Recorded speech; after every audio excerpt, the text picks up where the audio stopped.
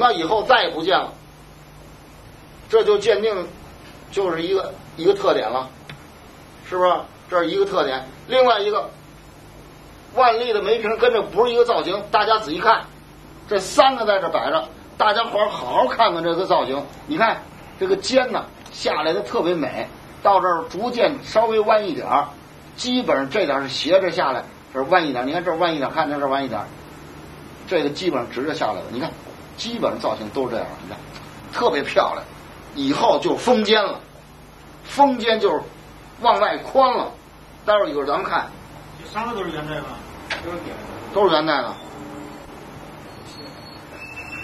底下那个，底下那个是萧何月下追韩信，这个，你看这马四匹马腿儿搬奔开，正在跑呢。这个东西是南京市博物馆的。看看啊，看看这松树，看这个松树，啊，看这竹子向上，看这松树画多好，嗯，这是元朝的最大特征。咱们再往后看。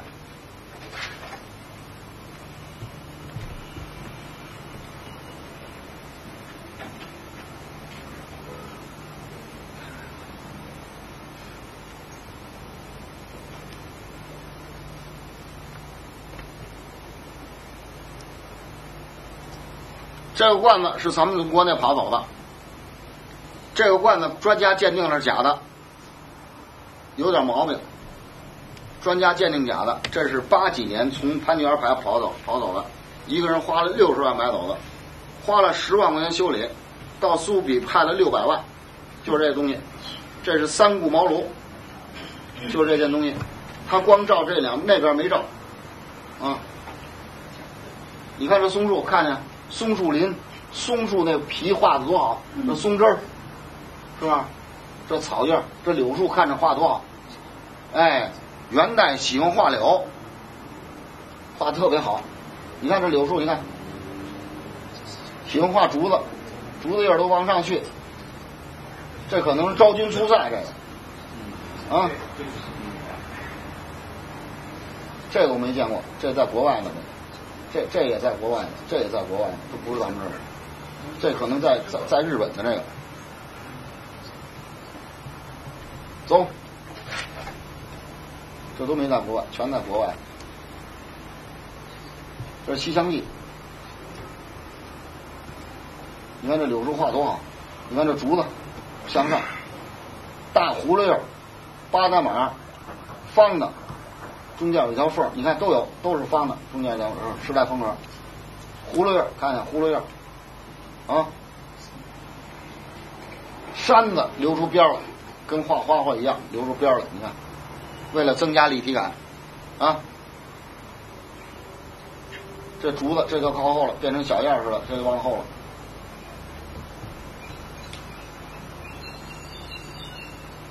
走。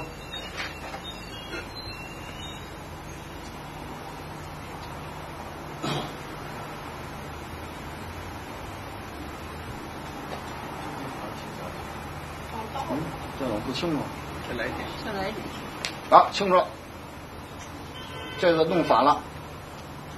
蒙恬将军，造笔的头一人，蒙恬将军。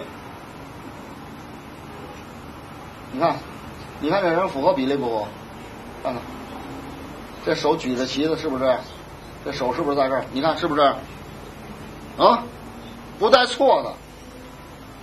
人体比例合适。你看这画的手。这手往前一推，你看这手画多好啊！你看这手叉着腰，你看这手画多好。气口里面没有彩吗？有，有有。什么？你说？哪个口口里头有？有看得见。身体用重青花，口袖口用淡描。平口。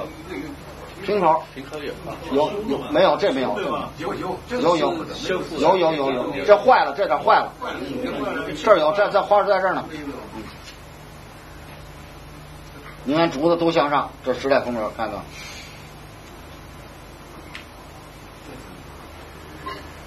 没有一点画粗制滥造的。走，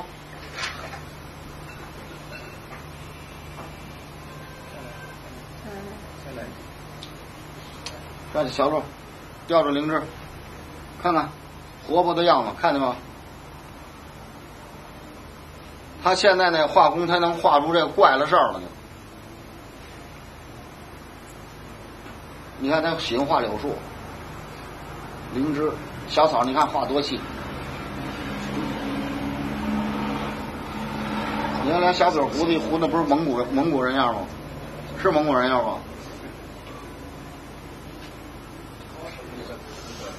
你看肩胛结构，你看这鹿屁股有，小尾巴一撅这，你看这腿儿，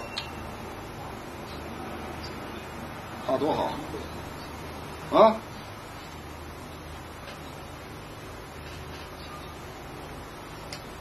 这在咱们国内呢，走。四爱图，这是武汉市文物商店。这个故事我知道，我九零年在他这儿编目，这个东西拿出我第一个看见的，我老师第二看见的，看见当时拿出了我这是宝贝，他们也知后来也知道是这件东西特别有意思。一个公安局的一人不知道捡哪弄着一瓶子，上那卖去了，卖了三年都没收他，都认为是假的。磨到第三年，实在没办法了，干脆收了他得了。当时收的是八十，八十块钱收的。收完了以后，正赶我们那年鉴定拿出看，我说这宝贝，宝贝。后来我老师一去看也是宝贝，给他们高兴坏了。现在这在武汉省博物馆呢，湖北湖南湖北省那博物馆呢。你看画的多好，葫芦叶开光三个，一二三。八达码，方的，小的叶冲着这个缝儿，这都是不可缺少的鉴定依据啊！这都不可缺少的鉴定依据。这是什么？这是桃园明爱菊，这是爱菊是爱什么？爱菊。你看画的那比例，虽然好像怎么？你看画多自然的啊，啊多自然！这飞凤画多自然。这更有意思，这是外圈重苗，里头用淡苗，这个大叶儿，大枝大叶，三个三个大枝大叶。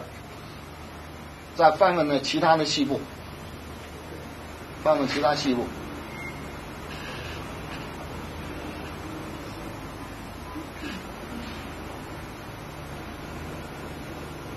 四爱图，这在全国少见。元朝人好打仗。都要画武将的那种东西，唯独这个还有《西厢记》，他还得有闲情逸致，所以不能像书上写的似的都画的武将。这实物证明了，他有有闲情逸致。这人的思想挺古怪，打仗打腻了就惦着过点安逸生活，所以在瓷器上就反映出来了。这就是时代风格。你看这梅妻鹤子，看见吗？你看这梅花画多好，嗯。这柳树画多好，这荷花画多好，嗯，这一个一个的，多精神，没有一个说人比例失调的，没有。你看那仙鹤飞的那姿势多好看，走。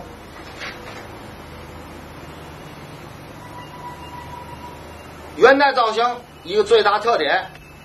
也是以后很少见到的，就是瓷器做成八棱状，这是元代的最突出的特点之一，千万不能忘了。刚才我那小瓷片是是八棱的那小瓷片，那就是八棱玉壶春的一小瓷片，啊，就是那个，我那就是这个圆的好做，八棱必须做八个玉壶春的样子，给它对在一块儿。还不能拿露露转，一转全散了，所以这八块必须做的是一模一样的，才能对在一块儿，进行修整，才出现这个最难做的。这壶嘴安上以后不让人看着烦，很非常合适，特别秀美，粗犷当中有秀美，秀美当中有彪悍。这就是元代玉壶春的最大特点。这个直壶，直壶最大特点啊！你看看这，你看这这菊花，这菊花你看全都是留白边儿，留白边儿。这个是咱们国内吧？国内，这在国内。这个它这个盖儿上有管儿。这罐儿是八棱的，这儿有一揪儿，原来这儿应该拴成线儿。嗯，这相当漂亮了。嗯，走。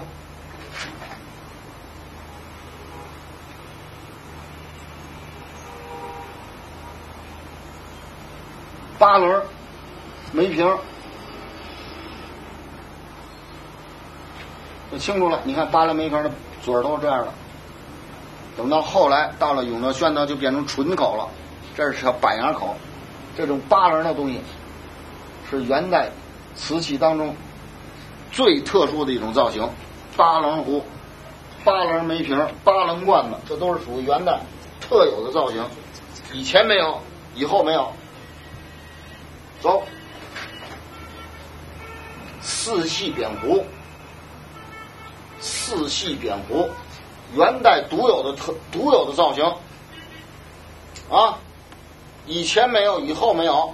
如果要有，百分之百是新的，啊，百分之百新的。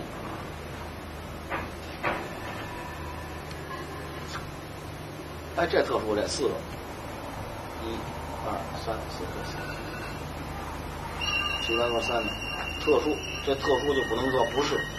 小头细身蛇。小头细颈肥身蛇尾，小头细颈肥身蛇尾，啊！你看，你看这个这灯塔多有力！你看这肘子，这肌肉多发达！嗯，这个叫扁壶是吧？四系扁壶，这四个系，这是仿仿蒙古的那个。那个水啊？底下那个扁壶是凤，底下怎么着？底下这个就是那个扁壶是凤的图案这是凤的，寿带鸟。这都是这都是寿带寿带鸟啊。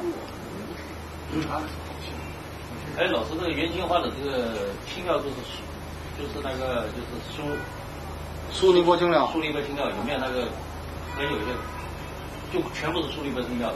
有，我今天早上讲了，纯苏尼泊青，有和国产和汇的，和汇，哎，掺在一块儿，有掺三分之一的，有掺三分之二的，也有个别的是一点都没有的。就是现在仿的，它就是有用那个苏尼泊青。没关系，没关系，再说一遍，苏尼泊青料没关系，这都没关系。这这种新学习开始出现这种问题是正常的。现在再告诉你一遍，苏尼泊青用光了，再也没有了。它是宝石蓝色，希望你把我那瓷片记住了，那颜色就行了。啊，这个颜色准不准确？照片的颜色绝对和实物相差十万八千里。啊，咱们只看它的风格，不要去研究瓷片。这个照片上的苏尼泊青，你永远也不会多好的照相机。日本的科技再发达，它也制造不出来，照出和原物色儿都一样。女同志爱织毛衣，到商店买那毛衣那线叫多少多的钢号，对不对？如果你这毛衣织完了，你再去配，不是那钢号，那色儿是永远配不上的。这个女同志织毛衣有这感觉，啊，要是三十八钢号的，您买三十九的就不一样。那色儿都配不上，谁要买毛线织错了毛衣，那个带颜色的能配成一个，除了黑的啊，黑的那太什么？黑的也不行是吧？不行的。一个画家画完了画，用完了颜色再配原色去，累死他也出不来。我告诉你，这我不知道画画的有这感觉没有？绝对配不出来。同一个颜色盒里头出了颜色。今天颜的颜色和明天就不一样，邪了门了，那怎么办？谁说解释的我解释不通？它就是不一样，拿眼睛看就是不一样，那怎么办？再往下看，八棱的葫芦瓶，是元代开始有的，啊，中间一大段没有，到了嘉靖、万历、嘉靖、隆庆、万历，尤其嘉靖和万历俩老子信道教，嘿，葫芦瓶才开始出现有，啊，这时候就有，因为元朝到了中国以后，它是儒教佛混着全有，元朝还是比较开放的。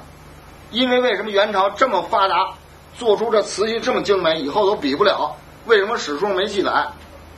就因为元朝是少数民族，少数民族，咱们正史不写少数民族统治中国，现在还在说元朝在哪儿建都，还得又往回拉咱们这，好像这这又是咱们祖宗了，又是这这往回拉，这咱们中国这文化叫为我所用。元代之所以有这么大的创新，这么大的这么大的贡献，史书上没记载，啊，没记载，这是非常遗憾的事儿。你看这瓶子都是非常少见的，这个以后都没有了。这瓶它那中间那横向白的是起到悬浮吗？哪个白的？就那个瓶口那儿，您刚才那个这个，对，这个，这个造型特殊。那这白的隔线没画好，没画上，哦，没画上嗯他故意的，故意的起一棱儿。啊，对，我就齐了，哎，对对，这个造型特别特殊，这个只有这这上头那个那个那个？这这个倒有，这个大小，这是一个一个起棱的一个隔线，一层、两层、三层、四层、五层、六层，搭着满着铺地儿的花纹，太细密了。现在画是画不了的，他也不会画这功夫，所以他画不了。这件瓶是哪儿的呀？这个这个，这我看看哪儿的？这不是咱们中国的，美国英国，英国在大英博物馆的这个。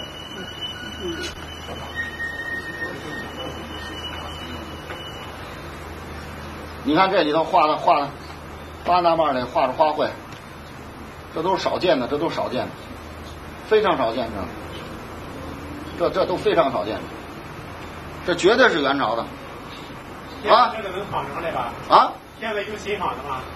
新仿的。新仿的吗？新仿的没有这种没有这种青花颜色，胎体比这重，绘画风格离它是相差万里，不是发黑，就是发淡，提了它那瓶子甚至甚至能给闪了腰，提了不动，啊，再走。玉壶春八棱玉壶春，这都是很少见到的东西，啊，很少见到东西。这都是元朝独有的造型风格。像这种玉壶春，最后到了明朝后，明朝以后一个也见不着，一个都见不着。所以这都是死，要不然就是新做的，中间道路没有。这就是我们讲鉴定当中上下线的关关关系。走，釉里红，元朝釉里红玉壶春，这个在国内。这白花全是拿暗刻，暗花涂上釉里红。走。原有的红，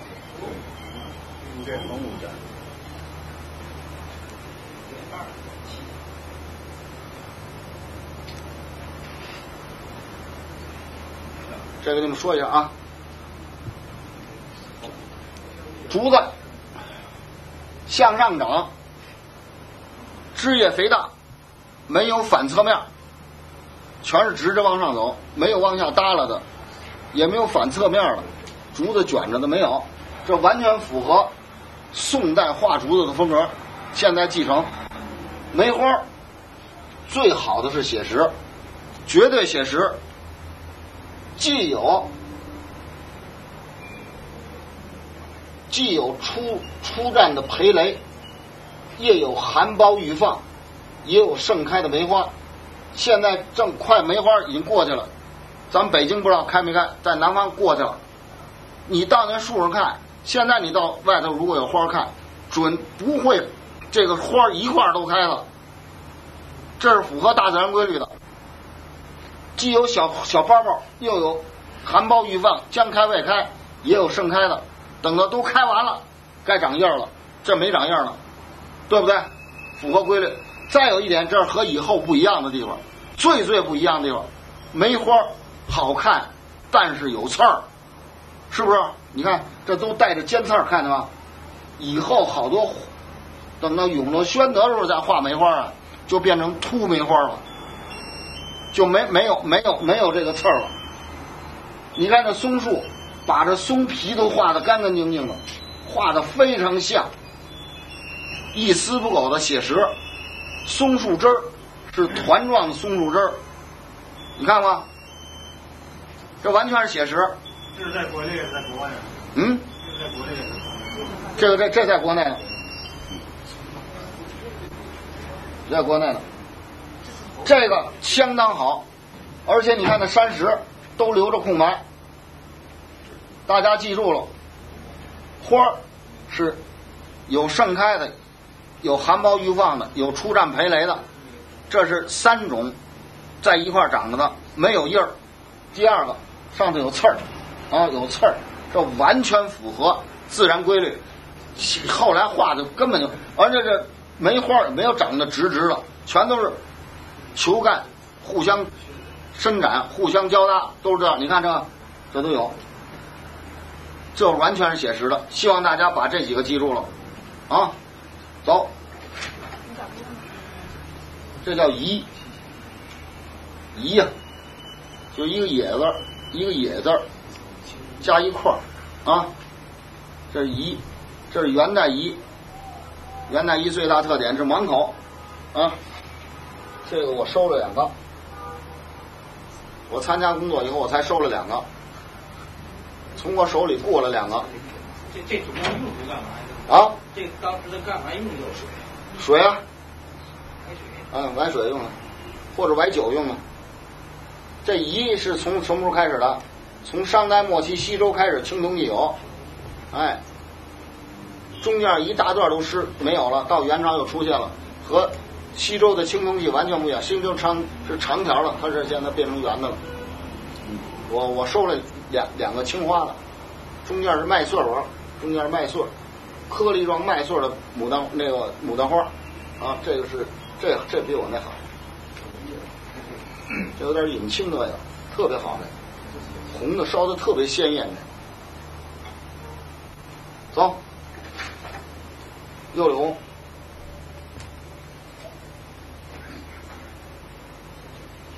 釉里红的青花罐子就和青花的那个不一样了。哎，这连起来了。但是它还没跑出元代风格。一、二、三。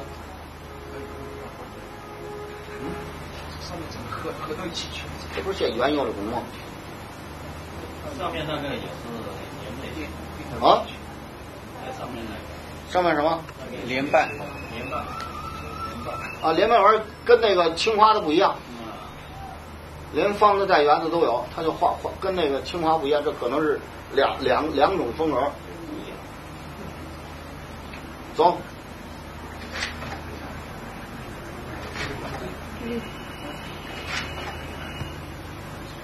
这釉里红这个，这是江西江西那边发现的，这这全别注意啊，外头卖这个别动，一个也别动，劝你们别动，啊，没有一个是真的。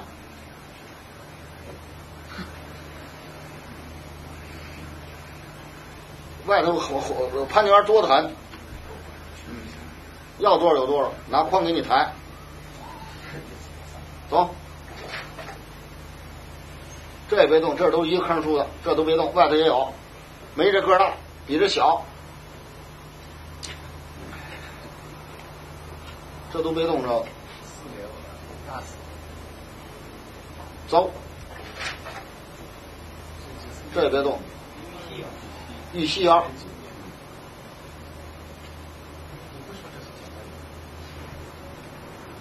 这是云南的玉溪啊，这不管了，这这这这玉溪那边东西太多了。走，这是釉里红罐子。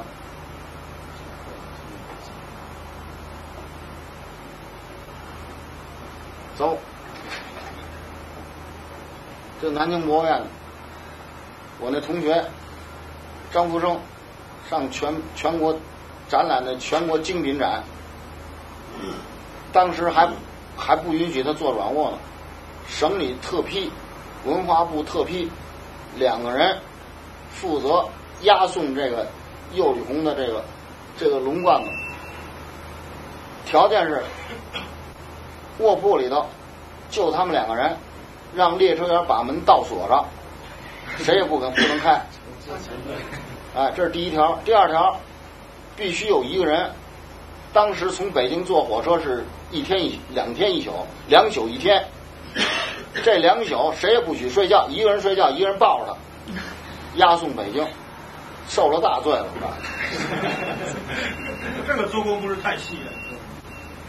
但是。铜红釉反成红的，太不容易了。这咱不讲化学反应，简简单一袋一一段铜红釉，铜的氧化物非常能还原成红色，还原不好就变成黑的啊！所以这是这是这元朝比较成功的作品。你没亲眼看，看了那龙纹刻的细节了。这里这龙纹都刻了。现在发那个铜红釉的话容不容易？容易。容易。现在掌握住了，但是烧不出这种特别鲜亮的。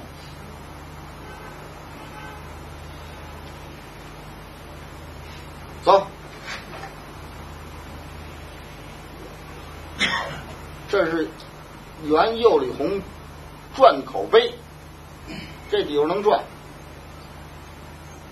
但是下不来，我看见一个整的，一个破的，这我也看见过，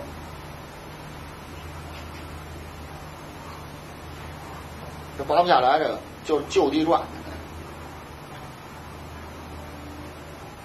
那破的是景德镇那个陶瓷研究所从玉窑厂里挖出来的，走。这是扬州文物商店，就打我参加工作第一次出差上扬州，就看这东西，差点拍卖出去。这画的相当的细，这釉里红画这么细的花儿，这是元代最细最细的，以后再也没有了。啊，这个口是后后镶的。有人说五十年代元就元青花釉里红，实际这这是解放前的东西。就那么受尊尊敬，可能在当时有人懂，没人懂这东西，他不会上这个。这这还是鎏着金的这个，铜鎏金的口。走，这是河北保定，六二年在保定中学里发现的釉里红镂空，青花釉里红镂空大罐。一共出了一窝，就出了两个，一个在故宫，一个在保定。英国也有。英国有个在拍卖没拍卖掉，对，加八百万。对，实际不贵，他那没盖儿。那个我觉得还行，还行啊。这这解放前都出去过。嗯。走。这元朝那个孔雀绿，这是仿山西发花的。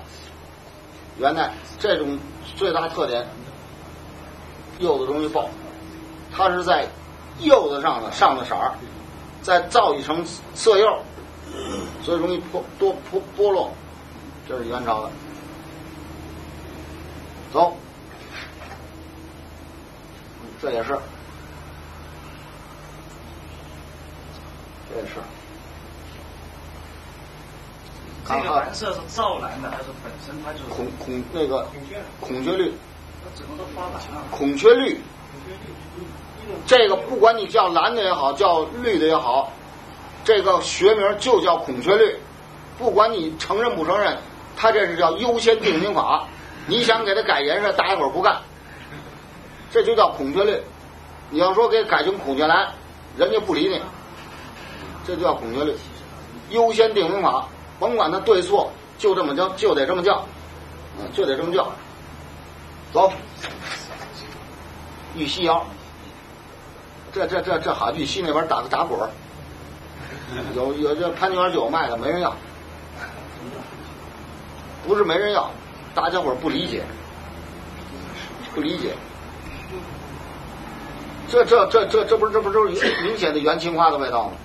这不是也放的放的遍体莲瓣吗？这就是挨上了，它有地方性嘛，是吧？云南玉溪嘛，出烟角的地方，这不是典型元青花的那个带爪的那个那个印儿吗？走。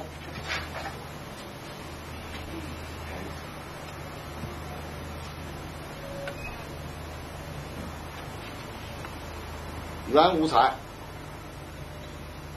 寿就是瓷砖窑了。天地大吉。九零年，一个蒙古内蒙的一小伙子送故宫几件五件元青花加五彩加金的品，那个玉壶春好几件东西，五件。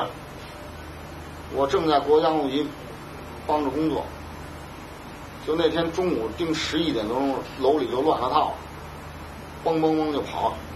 结果这件东西在故宫的神武门传达室，小伙子把这五件东西把它搁在传达室，五件东西拿到故宫陶瓷组鉴定。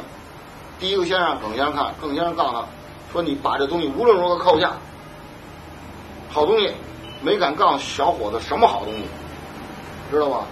怕怕怕把他惊，怕把对方给惊了，就是这好东西留下，跟他好好商量。结果这小伙子真不简单，抱着这个去上陶瓷组，他们这一个文物鉴定陶瓷组，这边是陶瓷组，这陶瓷组是学院派的到那里，说赶紧拿走拿走。耿先生这是不对的，这都是新的，拿走拿走。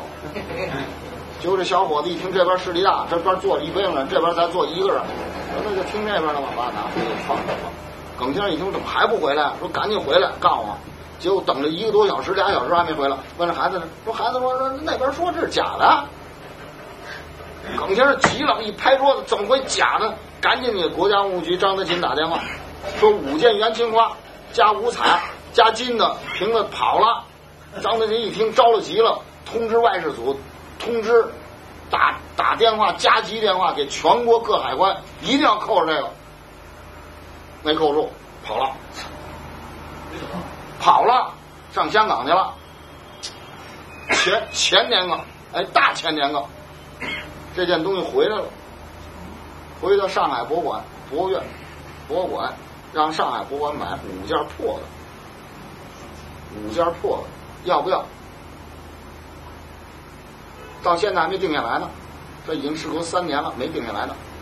要不要？要要五件东西，一件东西五百一百万，五件东西五百万。现在的奇谈怪论太多，还让我们买，你买不买？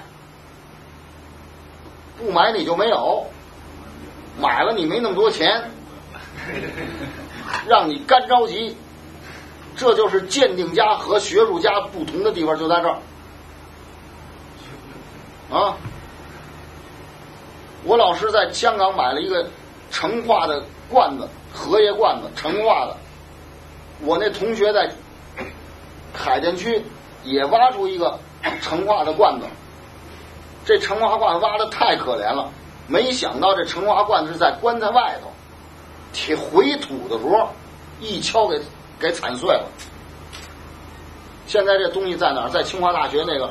那什么，那那博物馆那儿展陈列着呢，借借展，粘上的。我有全套的照片，我那同学给我照的，我那学生给我照的。耿先生买的跟那一样的，差不多的。现在这件东西没入库呢。学术者认为这是假的，说为什么假的？说成化瓷器不上护胎粉，那个底下有护胎粉。我说了，上护胎粉和不上护胎粉，这是当时对胎的的要求。这护胎粉上呢，是为了增加它的白度，不是假的。我说我的同我的学生在海淀区挖了一个跟那一样的，差不多造型都大小差不多，你不能说完全一样，绘画风格也是接近的。我说那儿就唯一不带杠。说完了以后，我把照片拿来，大伙儿研讨，出了一个怪题儿给我，弄得我是相当狼狈。说这上头画着七个人，那上画着六个人，不对，多画一个人就不对。现在这还否着呢。后来我跟他们故宫说，我说这不是五百万买的，我说我五百万要要，你们卖不卖？他们也不卖，就在那儿晾着呢。现在那儿晾着，现在还不承认呢，现在学术界还不承认。那没办法，那就存疑吧，啊，存疑，走。这是五彩，你看，这完全符合元代的风格。你看这这一、二、三、四、五，完全符合。这都在国内呢，啊，走。小椅子，宝座，这是我老师，在解放前。我这老师叫什么？叫孙慧元，在解放前，在鬼市上买的。那时候的鬼市跟现在的鬼市可不一样，那可真是伸手不见五指时候买的，划根洋火一照就买来了，就是火柴棍这么一划，这么一亮的功夫买的。现在全国唯一一件东西，啊，解放后老头子没钱了，卖给故宫了。当时卖了多少钱？我记得他跟我说卖了三千块钱，可不是小数啊！啊，那时候一个月工资才多少钱？一天要挣五毛钱就是财主了啊！现在在故宫呢，现在咱们管它叫右下者或者右下鹤，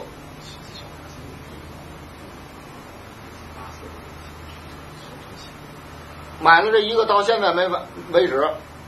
从解放前四十年代一直到现在，没发现第二件呢。希望大家发现第二件。可是发现第二件，注意啊，别别别买假了。为什么？这假的太多，这个，嗯，必须得符合原代风格。走，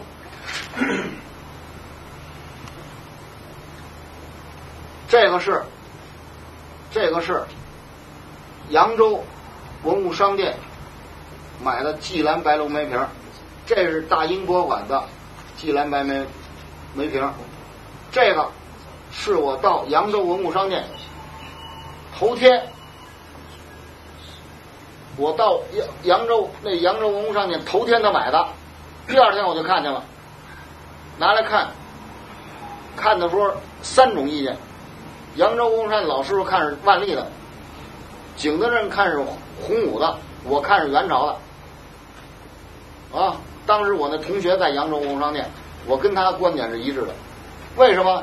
小头细细颈，肥身蛇尾，啊！而且这点是板牙口，和前面那一样，这弯弯的有一小区，这个是相当漂亮。当时跟我说，黄老师。有一个还碎的，我没要。我说赶紧追，从景德镇来了，追了半天，真下去人追了，追了一回来没追着，这人找不着了，不知道是把他给菜了还是扔了，不知道，是一对儿，一对儿，那坏的要收了多好，他们按万历收的，太可惜了，那坏的要粘上也是一级品，啊，这个在故宫的这个。这啥呀？没瓶啊？这底下牌儿，牌儿牌儿。这出胶还是不白啊？白不白，有点暗花，有点突出。这在故宫的宝石蓝色，那在国外呢，这在故宫的宝石蓝色，这个能是不？是堆雕，有点像堆雕的意思，稍微凸起一点来，半浮雕。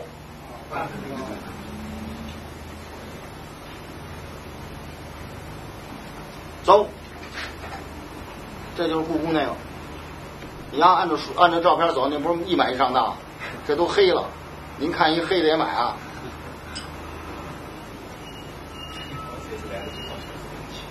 这是宝石蓝色，这这是个釉里做的，轮牙牌儿的啊，是这样牌。啊，这是釉里的，啊，这很细很蓝的这个是元代的，元代。啊，你看这不是火焰纹吗？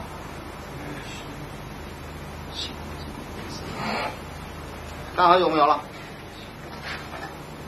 好，这圆。不清楚。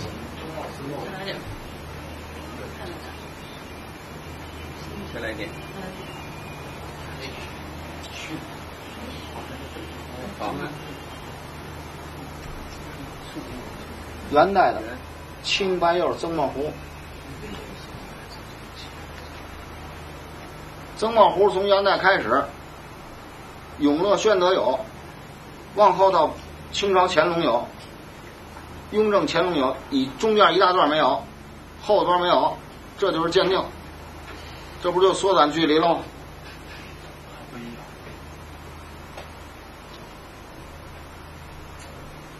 这太棒了，这个。好，休息会儿。怎么写？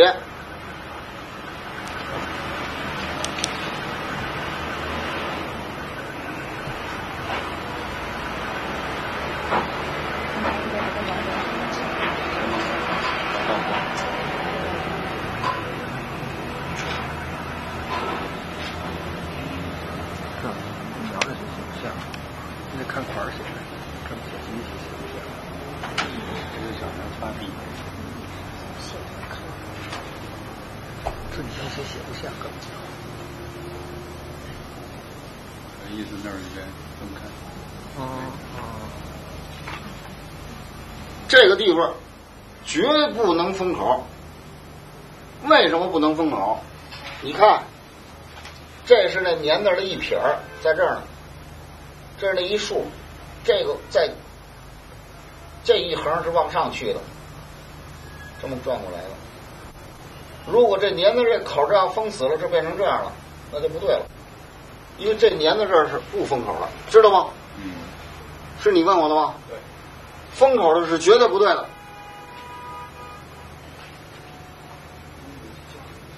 如果有乾隆款儿稍微过去一点儿，仔细拿眼睛一瞧，是过去了，阴过去的，绝对不是写过去的。啊，这个希望大家注意，这年字那地儿绝对不能封口，封口绝对是民国以后的。还有一个，除了你问我之外，现在写乾隆款是相当规矩。那个乾隆款写的太规矩了，方方正正是一丝不苟，要注意，要注意，这很可能是假的。这是第一条，第二条，乾隆到道光之前的年，这个大清乾隆、大清嘉庆、大清道光年制，都是拿手写的，啊，都是拿手写的，不是拿尺子打的，打格打的啊。我这有证明，我这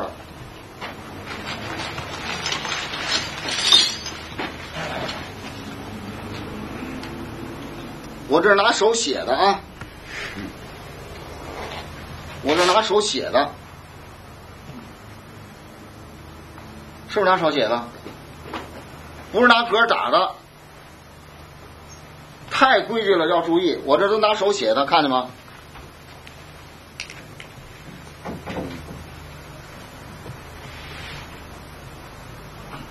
你看这这这不一歪斜的呢？是不是？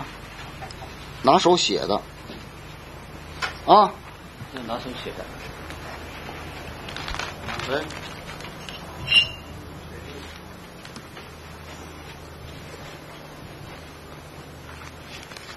这是万历，这是万历晚期，这是万历最好的那个青花颜料，就是这色儿。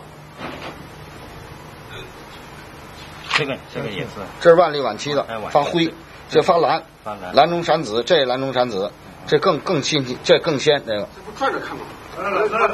这也有可能龙庆的不会不是龙井，龙井比这还紫啊。啊。老师，你就放的时候，大家伙走着来。来来，走着看，走着看。你他你放你坐那个地方，你龙排这块就坐您那儿就行，就就这儿，就这儿。这个早期晚期搁这儿挺好。这是嘉靖，这是万历，这是万历晚期，看闪灰。闪灰啊，这是这是这是这是这是蓝中闪紫，这是蓝中闪紫，越纯它越阴散，加了国产料少一点是这色儿，国产料多呢灰青少就灰的，这个是最纯正的，这因为它是画的是这个这是什么什么五彩五彩？灰青，这就是灰青，特别清。这是灰青，大伙儿看看。这个光线自己做自己的微商啊，趴着看，不要再去拍。后挂彩，那就很挠头了，就就不知道有什么窍门没有。他要如果有土性也好办，就怕就怕那种。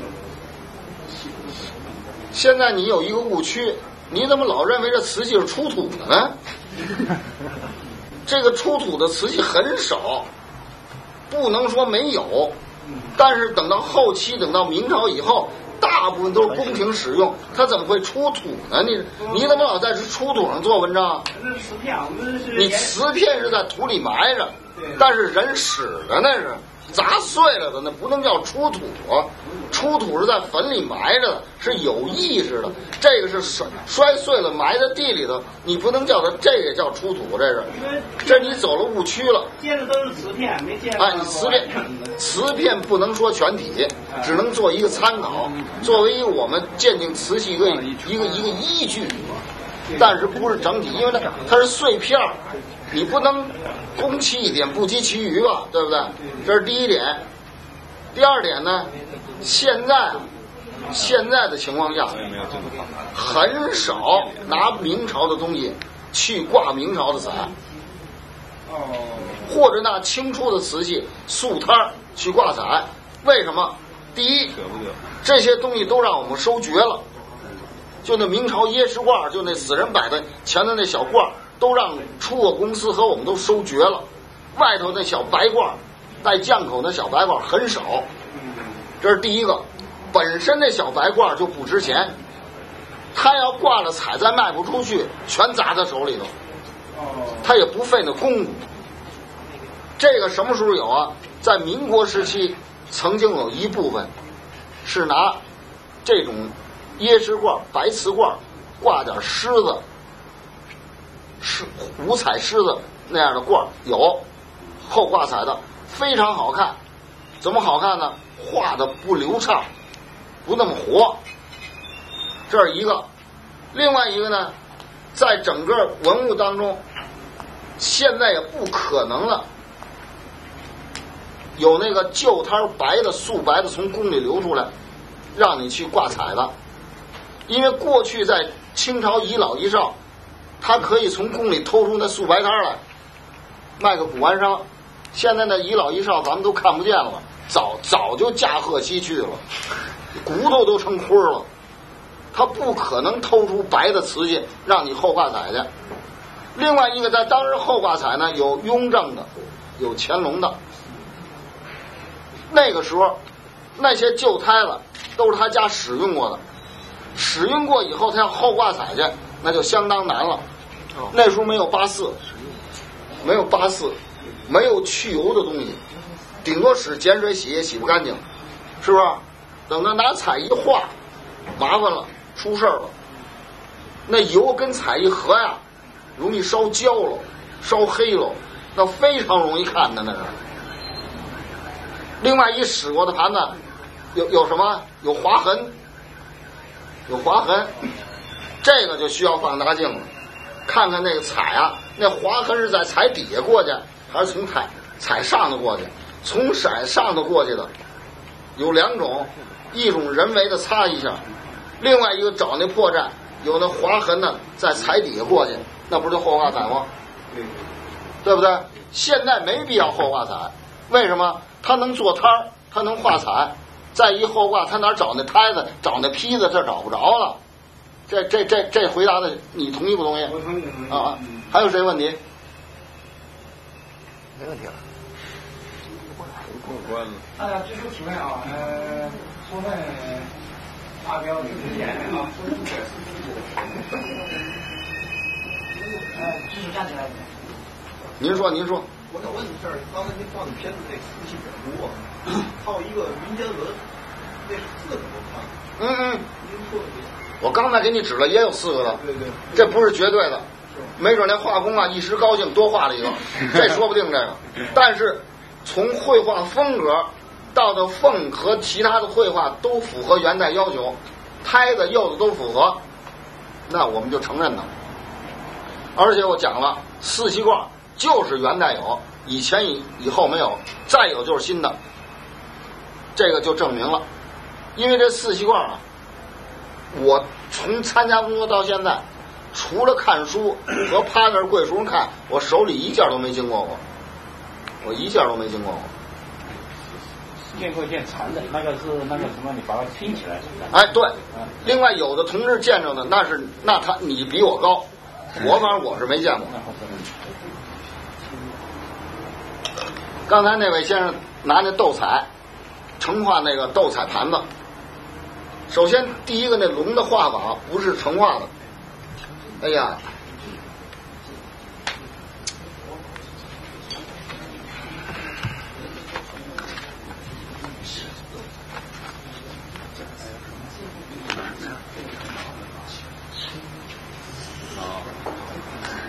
不应该用手挥下也好。什么这个哎，青花有云散现象，有铅光，这个结晶板是不是啊？铅光是面积比较大，哎，面积比较大，嗯，这有特点。对，就是现在的仿品，这个特点能仿上来吧？仿不出来。仿不出来。最重要一点一点一点仿不出来的是什么？绘画风格。哦。绘画风格都仿不出来。其他都能仿上来。不一定，反正现在目前我看没有。西光能仿西光可能能仿出来，但是青花颜色凸凹不平都反映不出来，上头的细橘鼻棕眼都仿不出来。哦，仿不出来。刘老师，我要问一下，你你所见的这个咱们国内出土的这个元代的这个这个这个大罐啊，它不是那个松柏体那个那个点吗？会釉会不会破坏？啊？它会不会破坏这个这个釉？就是苏苏泥波形那个那个地方有有没有凹陷的地方？那个凹陷的地方会不会有土性？我现在目前看的很少有出土的，很教堂那啊，教堂那不出教堂不带土，教堂出来也到不了你手里头，也到不了我手里头。不是，我就是您不是您不是见过有没有这种？它它会不会出现这种？呃，因为瓷器啊，尤其青花瓷器出都在那蒙古地区，一洗就倍儿干净。什么时候什么瓷器出出土以后有这被土咬的情况啊？带彩的，尤其是黄绿彩、绿。彩、青花是永远，这都是从地里马上刨出来的，这个都是，这全是，这都是，啊，这也是，这都是从肚里地里出来的，是吧？你看这彩有，你看这彩黄的跟绿，黄的黄的跟绿的又上来变少了，你看这绿的变成变成铅光了，里头含铅，它就变成铅光了，它就变色。青花瓷器变不了色，嗯，因为它在在右下，右下，它在右下，这是在右上。范老师，我再问一下，就是典型元青花和这个永宣官窑器，它这个如果都用的塑料，它这个发色上有什么差别？它有差别，分三种情况，一个纯的，就是我说那早上那小鼎是纯的，货的，湛蓝湛蓝的宝石蓝。如果再加上三分之一的国产料，颜色还是比较保持好的宝石蓝。如果对半或者少数一半了，就有点发灰了。但是有一个特点，在早期宣德早期之前，都有凸凹不平，都有宝石蓝色，都有小小的吸光，比元朝的小，而且都有不平凸凹不平的感觉，而且都有釉的是细橘皮棕眼。我在七几年的时候，在首都博物馆，就现在北海后门。建了一个元呃宣德的大罐子，这罐子写着“大清大明宣德年制”，在肩上楷书款那个是纯国产料画的，风格完全和宣德一样，但是一点凸凹不平都没有，那是国产料画的。现在目前为止，我就知道有这么一件是国产料画的。如果有的别的同志看了以后，那就又增加了一件，是吧？那是完全是国产料。所以它一点阴散也没有，颜色发灰，整个的绘画风格完全是宣德的样子，所以最后定下是宣德的，而且款制也一样，写的也是也是晋唐小彩，经过我们鉴定，经过故宫鉴定，经过崔英洲先生鉴定，一致认为是宣宣德的东西。这个件东西现在在将来首都博物馆一开，肯定要展览的，肯定要展览的。嗯好像现在我我个人看的一点东西的印象，感觉好像呃一般非非这种典型的元青花，因为我们看到的就像这这两件来说，都是这种非典型的元青花，它的好像发色就要比我们所见的永宣的官窑器的发色要浅。这是正常的，这是正常的，这东东西很可能是民间用的东西，不是官家用的，这是第一点。第二点呢，它里头有苏尼波青料。但是绝大部分都是国产料，民间也用苏料，也也有时候也用，它剩下下脚料它也要用的，要用的。老师，我有几个问题。您说。就说现在这个选选择这个瓷器的话，选这个这个花的话，就说现在要是仿的话，它有没有那个把这个混染现象？下面上面现在仿的，现在仿的，我见到的很少有阴散现象，很少有。首先，第一点，它没有苏尼波青料，它也出不来那种自然阴散现象，出不来了。刚才我讲了，氧化钴是国国防用的重要的制造原子能的那个重要材料，它把它提出以后就不纯了，不可能能反映出苏尼波青料，而且氧化钴的价格比黄金还贵。老师他问一下子，他问这个是什么你？那个是不是他国产料，还是不是他器型？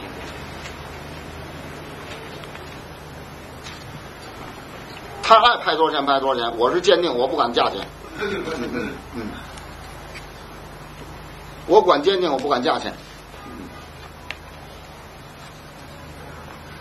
老老文化部里边那个样对对对对对，就是现在文物出版社。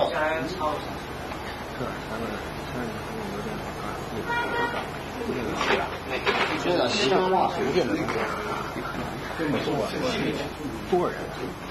人，人开干不了，就看不了。说说的都是我好看的，人家今天给见多少东西，别这么说。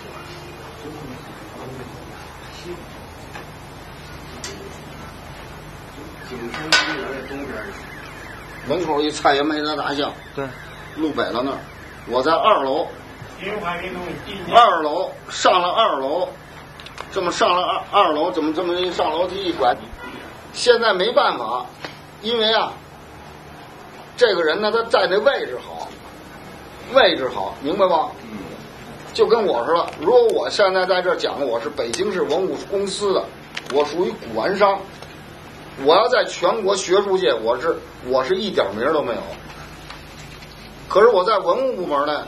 在我们全国文物部门里头，在流散文物当中，他们都知道我。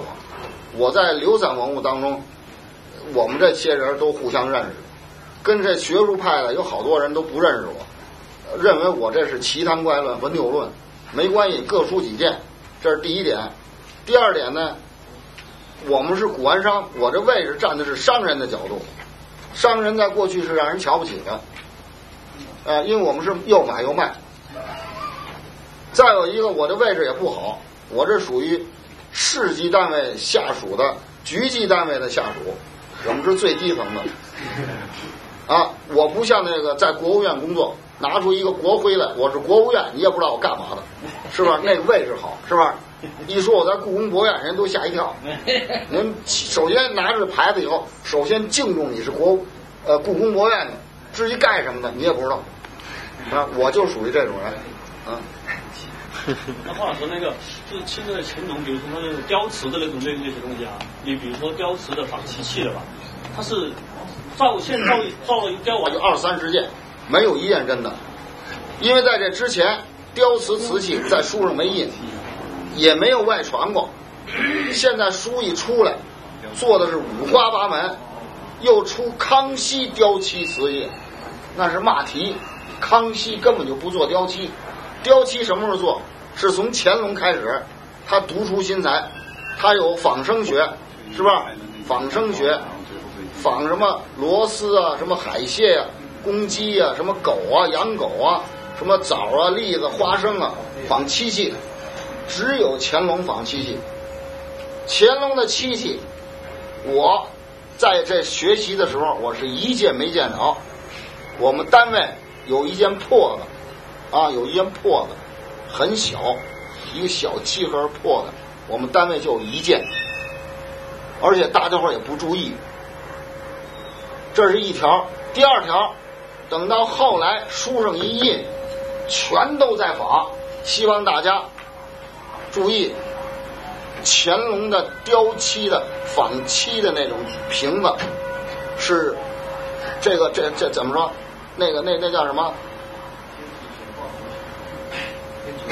那那那叫什么？那叫太监，偷不出来，个儿太大，他抱不动，是吧？他要偷就偷盘子碗子小罐儿，他不会偷那大个儿，他搬不动。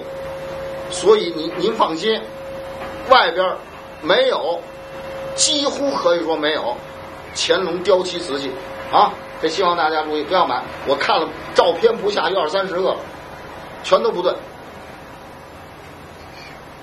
老师，书上经常提的魏池，这魏是啥意思？什么？魏就是魏国的魏，《厨师经常》魏池，一个一个火字旁搁那个魏，魏魏吧，那个魏上的魏魏池。啊，魏瓷，魏瓷是他们学术界和这景德镇的词，景德镇瓷器，咱们不管那个，不要去管那些跟咱们没关系、鉴定没关系的东西，不要管那个。二是有有没有点啥意思？这啊？虎皮釉，虎皮釉有有有，这个釉啊叫虎皮三彩，从康熙时候开始有的，一般都是民窑器比较多，都做一些什么船盘啊、小碟子这样的东西。船盘啊，红那个黄绿赭三色，跟这差不多，一团一团的，啊，没有是从色摊上。什么叫色胎啊？就是不上釉之前的胎子，然后第二次上上彩釉，彩釉。不上彩的有没有？不上彩叫素胎儿。那就素胎。啊啊。没有那不上彩的那叫素胎儿。嗯。有这个叫虎皮三彩。不叫虎皮釉，叫虎皮三彩。就是那个翠毛，就是你讲那个一个青花三种，一个翠毛蓝那个是。翠兰，你说是不是康熙的翠毛兰是吧？您刚才说是用织电与民窑瓷器。对。我看了好多那个拍公司拍出来那个，就是挂着康熙牌那个，那也是翠毛兰。据我所知，据我所知，康熙是不是有官窑？这咱们另当别论。但是目前为止，故宫博物院摆的那个月影梅花。还有几个康熙大盘子，全是民窑的，没有写康熙的。假设如果要写康熙的，那都是草花，不是官窑花，啊，是不是有这种情况？以后见着咱们再说。嗯，嗯，好老师，我呢问一个问题啊，是这个手机上面，就是你像那个周日中野。是吧？它上面就是每一个有点不有粗，我有两个。像你说的那样，我那我那办公室是一筐的瓷器，我也没有见着一个瓷片里头带有土的。希望你注意这问题。我不管这么细洗不掉。不是，希望你注意那东西是什么东西。安装去看起来是元朝的。不能叫看起来是元朝的，跟我看的那一样不一样？哎，这有一个跟是一样的。一样的，将来你给我一个照片，我看看。啊，照片我照片看不是这个图案，看不不不，我能看整个风格，我能看出来。我看风格，我不看什么，我看风格。是不是？他们说这个紫金釉到底是什么釉？紫金釉就是这个釉，酱釉，就是酱釉，就是酱釉。哎，酱釉。它和芝麻酱釉有？呃，不是，这就叫酱釉。这个酱釉呢，给它起名叫紫金釉，就跟那定窑那个紫定似的。实际紫定也是基本上这色儿。那你这酱釉是什么年代出的？酱釉，酱釉如果从现在开始，酱釉从明代就开始有。从嘉靖万历时候就有。就是这个紫金釉里边啊，它这个有红点。这个我有个香炉啊，它那个紫金釉呢有闪这个也闪这个就是这个荧光一样的了，里边还有一点一点的红点，那个是还有模釉，刚拿去就看得出来，就是什么什么瓷器？是景德镇的还是哪儿的？我搞不清的，是个木牌，一个香炉啊，小心，注意。